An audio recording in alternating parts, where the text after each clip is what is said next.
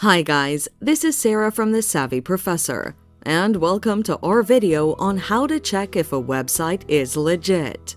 Ensure you stick around until the end to learn how to know a legit website. This is how you check if a website is legit. Inspect the connection type. The first and most straightforward way to know if a website is legit is by looking at the connection type. Generally, websites with HTTPS are usually more legit than those using HTTP tags. HTTPS websites have a more strict security certification process that illegitimate websites don't want to go through. However, a website with an HTTPS designation can also be fraudulent, so verifying using the other ways discussed here are best. Inspect the website's security status and then look even harder.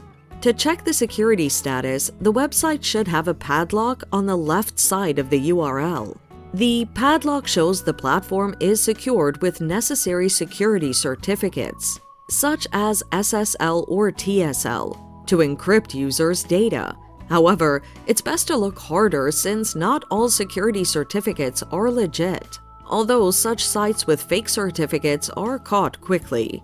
For further inspection, you can click on the padlock and select the Connection is Secure option.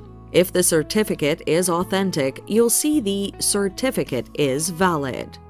Examine the URL name.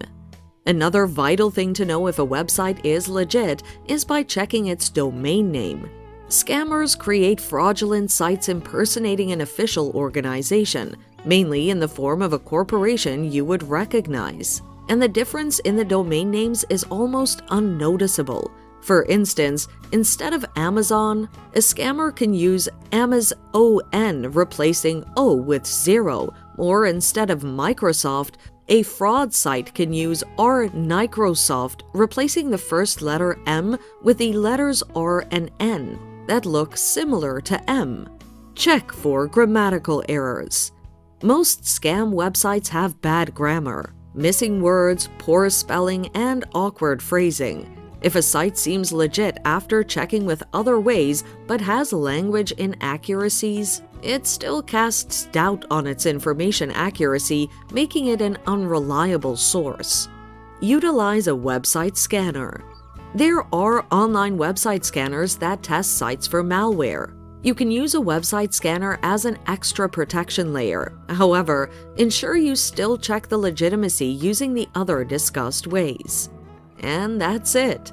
Checking if a website is legit is that simple. Feel free to share, like, and comment on the video. Thanks for watching. Till next time.